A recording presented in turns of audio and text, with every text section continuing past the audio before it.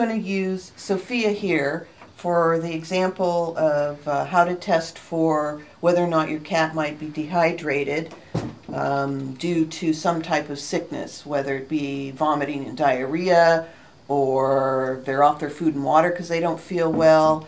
Um, perhaps they are excessively urinating because of some underlying medical condition, um, like uh, renal failure, diabetes, those types of things. So, to I felt that since Sophia here is shaved down, it would be a little easier to do this demonstration.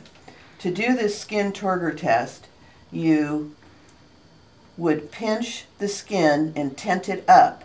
And you want to get the skin at the scruff of the neck, right above where their shoulder blades are, and you pull it up gently and see how it's pinched. And then when I let it go, it immediately drops back onto her spine. That means she's very well hydrated. If instead I tented her skin and it went down really, really slow, and the pinching of the skin together uh, did not unpinch and snap back down onto her spine uh, like a rubber band, then that would show that she was, in fact, dehydrated.